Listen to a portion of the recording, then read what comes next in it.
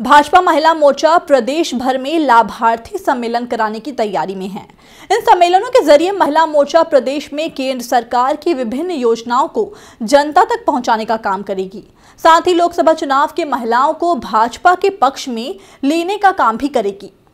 छत्तीसगढ़ भाजपा महिला मोर्चा की एक राज्य स्तरीय बैठक एकात्म परिसर में रखी गई। इस बैठक में आगामी लोकसभा चुनाव के लिए रणनीति तैयार की गई। लोकसभा चुनाव में महिलाओं की भूमिका और उनका कार्यक्षेत्र तय कर उन्हें चुनावी तैयारियों में जुट जाने के दिशा निर्देश प्रदेश के पदाधिकारियों ने दिया। महिला मोर्चा की प्रदेश अध्यक्ष पूजा विधानी ने बताया कि बैठक में गुजरात में हुई राष्ट्रीय कार्यकारिणी की बैठक में महिला मोर्चा के लिए जो रोड मैप तैयार किया गया था, उस पर प्रदेश पदाधिकारियों के साथ विस्तृत रूप से चर्चा की गई।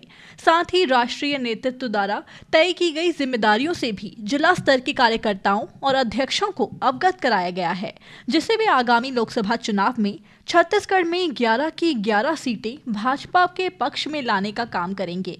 इसके साथ ही महिला मोर्चा प्रदेश भर में लाभार्थी सम्मेलन कर केंद्र सरकार की विभिन्न योजनाओं को जनता तक पहुँचाने का काम भी करेगी।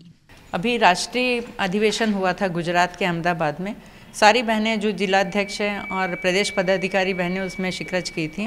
उस सम्मेलन में लोकसभा के लिए चुनाव में एक रोड मैप बनाया गया है।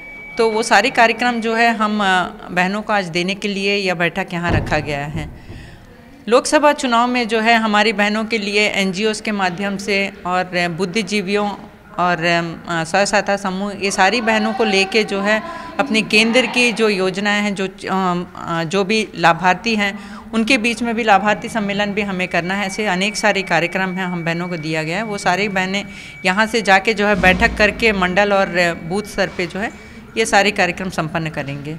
विधानसभा चुनाव के बाद भाजपा का राष्ट्रीय नेतृत्व लगातार प्रदेश में राज्य स्तरीय बैठक कर कार्यकर्ताओं को बूस्ट करने की प्लानिंग कर चुका है, जिसमें सभी मोर्चा प्रकोष्ठों की एक एक कर बैठकें प्रदेश पदाधिकारियों के नेतृत्व में की जा रही हैं। इन बैठकों के ज़रिए भाजपा लोकसभा चुनाव में केंद्र में दोबारा सत्ता तक पहुँचने, कार्यकर्ताओं को एकजुट होकर काम करने दिशा निर्देशित कर रही है। देश टीवी के लिए कैमरामैन एस गणेश के साथ रिचा सहाय की रिपोर्ट ज़्यादा से ज़्यादा वीडियो अपडेट्स के लिए हमारे चैनल को सब्सक्राइब करें, लाइक करें और शेयर करें। न्यूली अपडेट्स के लिए बेल आइकॉन का दबाएँ। देश TV we report you decide